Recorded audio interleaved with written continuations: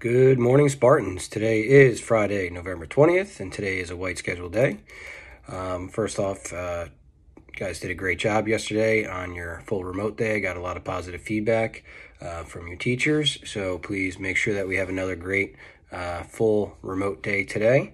Um, students, please check your email every morning for announcements of the happenings at TIS. We do have several changes uh, in dates that are coming our way, so please pay close attention and pay close attention to this video as well.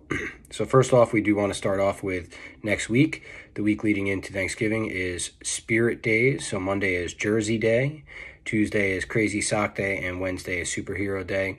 I know we're not in school, but we can still participate. We're going to post our pictures on the Student Council Twitter page. Here's the Student Council Twitter page at S Council TIS please make sure that you're posting your your your photos we've done this before we did it last year in the spring it was still a lot of fun it was great to connect with people so let's make sure that we are participating okay so uh, we're moving into sports now winter sports so a lot has changed in the last 24 hours uh, with winter sports. Uh, the NJSIAA has released uh, some new guidance for us. So, physicals, they have changed now. Physical dates have changed. Our doctor uh, is now available to do physicals on for cohort A on December 15th. Okay, so go cohort A December 15th. Cohort B is December 11th. Okay, so actually cohort B is, is going to go first and then after the weekend cohort A will go. So let me say it one more time. Students with the last names A through K, cohort A, okay, is December 15th. Students with last names L through Z, otherwise known as our cohort B students, your date will be December 11th. Once again, if you need to get a physical by our school doctor, please make sure that you are calling our school nurse and you are making an appointment.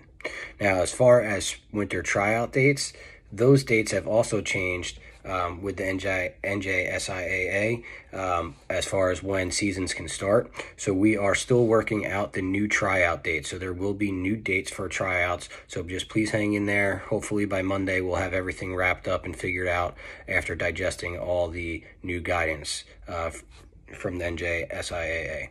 Okay, uh, next is picture makeup day for our cohort B students and our remote students. Right now, that date is December 4th.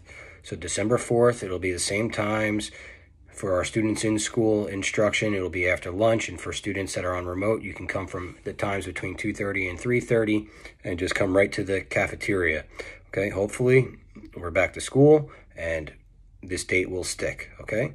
Um, I really think, uh, oh, it's Friday, right? We got to do Friday funnies. Um, so here's here's a here's a quick one for you. What is a scarecrow's favorite kind of fruit?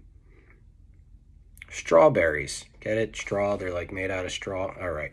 I know. I'm a dad. Dad jokes of the year. That's you're probably not going to get much better than that. All right, students. Same as yesterday. Let's make sure we're on to class on time. You're showing your video. Uh, I, I, got so much positive feedback from teachers yesterday about how uh, you were showing your videos and that you're you're we're being really active yesterday in class. So let's do that again. Let's repeat that again. We need that. Okay. Make sure you're showing up to class on time. And uh, as always, Spartans, let's make it a great day. Be safe and be well.